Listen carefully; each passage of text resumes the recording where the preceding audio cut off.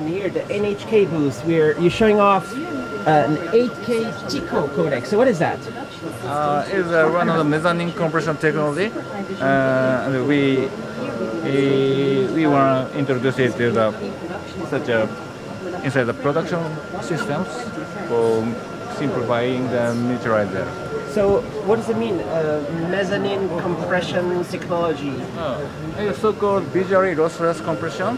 Uh, to how to identify difference uh, between original and the default happening. So it's like a lossless. Uh, it, it's actually lossy, but mathematically lossy, but It looks uh, visually lossless. it looks visually lossless.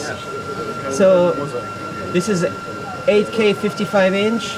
And what are you showing here? Encoder, decoder? What is what is this hardware? Uh, it is in, in the in the FPGA in, in, in, implemented. This special FPGA Uh, or Altera or another somebody? conventional conventional one. Yeah. It is fitted with light. And then you program the FPGA to do encoding real time 8K. Yes. What's the bit rate?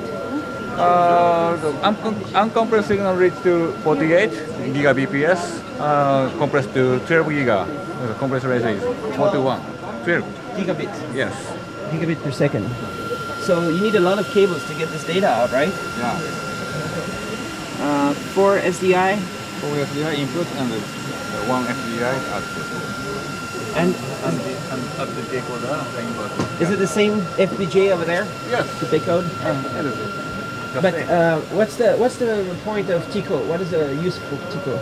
It's not H265 and it's not It is not. VP9, it's not Yeah. AV1. It is not suitable for the point-to-point transmission, but for the inside the production system. It's a light compression process and uh, is fitted with also very low latency.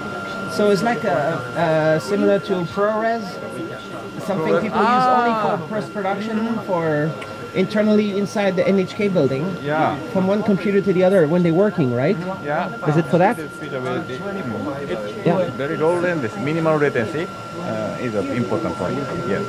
It's a very low latency and easy, fast uh, environment to work with, maybe, and uh, keeping all the quality before you broadcast later in H265, maybe, or Yeah. Yeah. Right. Yeah. You're right. And uh, is is Tico developed uh, by you or who's developed Tico? Ah, Tico the in- technology developed by intoPIX, uh, the Belgian company. Uh, Yeah. We developed it adapting in 8K video. Did you show something over there Yeah. about Tico? There's also some Tico there. Tico there. Of this? Yeah. Uh, Tico is uh, green, green one. Yes. featured in